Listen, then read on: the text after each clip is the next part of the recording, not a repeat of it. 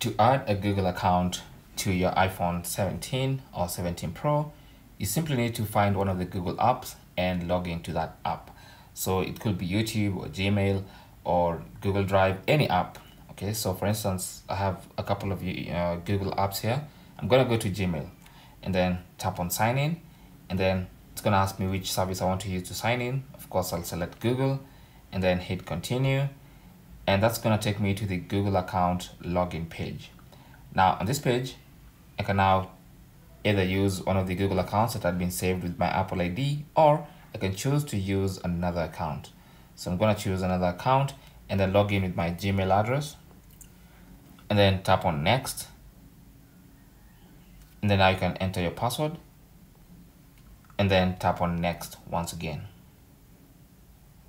Now if you need to authenticate, then you can go ahead and do that. But then also,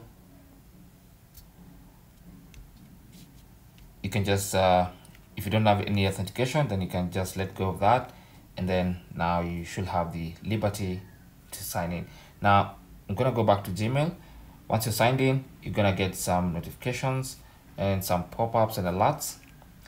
But uh, as you can see, I'm signed in to my Google account. Okay. Now, once you sign into one Google product, you can also use that same account on other Google accounts. So you can see I'm already signed in automatically to YouTube. Okay, so there you go. I'm ready to go. So that is basically how to add a Google account. Just sign in to one of the Google products. Thanks for watching and Google. good luck.